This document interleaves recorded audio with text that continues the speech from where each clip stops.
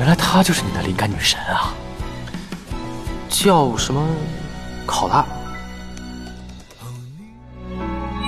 要是没事的话，一起组队打个怪吧。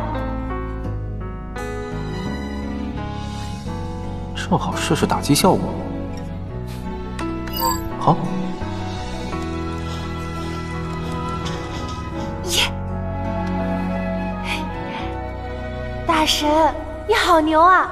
求带。哼，小屁孩儿。你几年级了？不用上课吗？我高三了。高三不好好上课，玩什么游戏啊？那你不也在玩游戏吗？我都读研了，小屁孩儿。那你是什么专业的呀？我现在都不知道以后要学什么，好迷茫。年纪轻轻天天玩游戏，能不迷茫吗？我没有天天玩，我只是比较喜欢造梦师而已。我觉得这个游戏的开发者好了不起啊！算你有眼光。为什么只喜欢玩造梦师啊？因为每次它都能让我暂时脱离真实世界的烦恼，去往另一个世界，就像有平行空间一样。这种沉浸感，在其他游戏里根本感觉不到。沉浸感？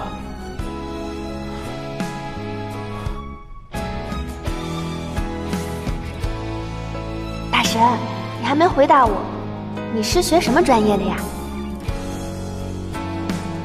计算机，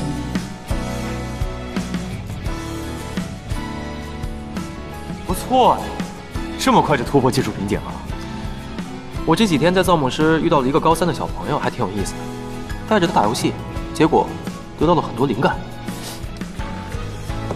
原来她就是你的灵感女神啊！叫什么？考拉。大神，你一个星期没上线了，最近很忙吗？你已经十六天没上线了，如果你能看到这条消息的话，请一定一定要加我 QQ 啊！大神，我决定听从你的建议，考计算机专业。所以高考以前，我不能再玩游戏了，我会考上新海大学。你在学校等我哦。对了，一直忘了说，我叫陆离。